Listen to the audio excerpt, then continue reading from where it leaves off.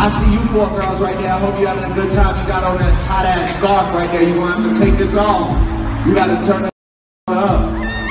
That shit, you gonna have to come out that shit.